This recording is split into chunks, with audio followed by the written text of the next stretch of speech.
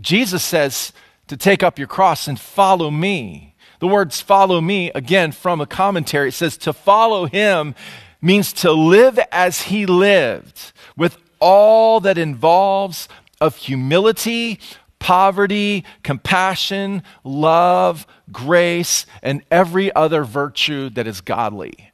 Listen, t- following him means we're laying ourselves down. We've taken up a cross. I'll bear the burden. I'm willing to die.